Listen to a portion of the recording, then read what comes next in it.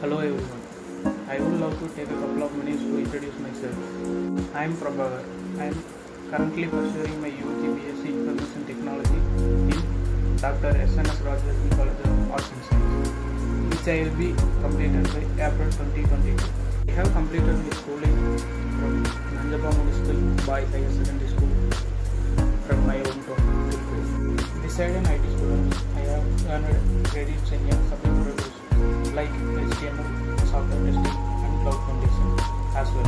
And I'm also much interested in web designing. In order to show my excellency in the particular field I have chosen and also engaged myself in many inter-college competitions and collected various certifications for this competition conducted by various colleges. The year